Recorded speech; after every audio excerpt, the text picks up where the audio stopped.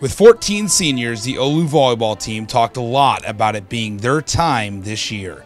On Thursday night in the second round of the CIF Southern Section playoffs, they had a chance to seize a massive opportunity and advance to the quarterfinals when they hosted San Clemente High School. Pick it up third set, all square at one apiece, a big block by Brock Bergholtz and Bobby Victor. A couple points later, it's Victor again, and the Lancers cap off a 6-0 run. Bergholtz with the kill in the middle.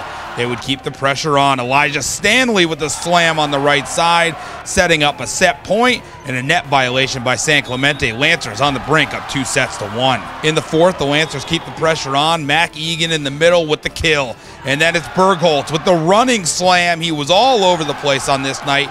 Now up 23 22. The composure of the seniors comes in handy. Jonathan Predney, a huge kill, and that would set up a match point. Take a listen.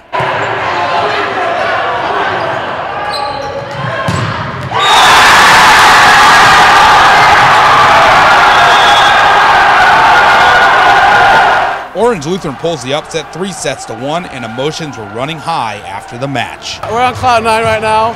Uh, we weren't supposed to win this, but that's amazing that we did. And we're at home again on Saturday. So I've never been to the quarterfinals in CIF ever.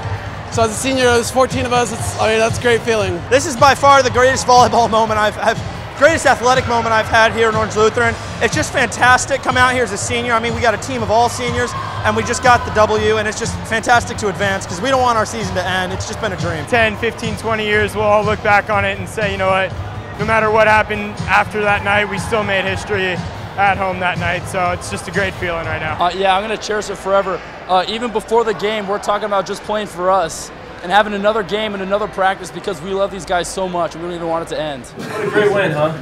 It was the best one. We played well. Yeah. We really did because you guys you guys beat a really good team.